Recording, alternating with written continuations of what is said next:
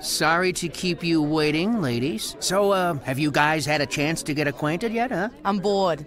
I'm scared. I really do not want to be here. Well, if you like, we can try for the VIP room, but I don't think there's room for the three of us and the camera crew, do you? hey, I know what we need. How about a few cocktails to take the edge off? Larry, don't get me wrong. I'm happy to be here. But don't you think this is a tad weird taking us to a strip bar on a date? Why? You uptight? I'm not uptight. I'm uptight. That's not what I heard. Save some energy for later, babes. One of you is gonna need it. Ah, perfect. Hey, how you doing? Listen, uh, I, I have two two-for-one coupons for these. Now, uh, one of them is expired, but uh, Linus said... Larry, that's, uh, sweet of you, but I'll pay for them. Okay! But that's not gonna earn you any special points. I gotta remain impartial until after the questions start. Well, darn for me. Okay, so first things first. I lost the questions the producers gave us, but I wrote down what I remembered, and I'm pretty sure I got them right. So here goes. On a scale of 1 to 10, how would you rate yourself at whoopee? Nine. Ten.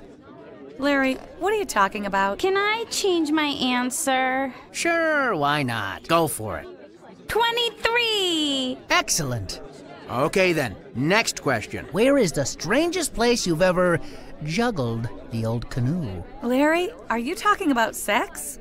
Uh, yes. Inside one of the guard towers at the Photon Laser Tag Arena. Behind a dumpster at the last Iggy Pop concert. Assistant Dean Abramson's private bathroom. But you guys have to keep that a secret.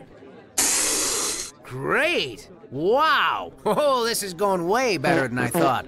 All right, next question. If you were magically transported to a mystical fantasy universe and had to make whoopee with a dragon in order to save the human race, would you do it? And if so, do you think you'd enjoy it? Huh? Suzi, let's start with you this time. Yes and no. Interesting. Barbara Jo. What's a dragon? I'm sorry, that question's just weird. Can we skip to the next one?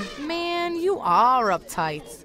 because I wouldn't have sex with a dragon. You'd sit there and rot in some cave forever just so you wouldn't have to give a dragon a blowjob. I like dragons. Okay, sure, fine. Under those circumstances, I would do it. Man, what a sicko. What? You fucking hypocrite. I don't know about you, sweetie, but I ain't chugging dragon cock for no man, no how. You bitch! Ladies, a toast. Look, I just want you guys to know that if it were up to me, and I mean this sincerely, I would keep all three of you. But rules are rules. So unfortunately, I'm going to have to cut one of you loose before we advance to the next round of the date. But before that happens, I want to toast you guys and let you know that this has been, without a doubt, the best date of my entire life.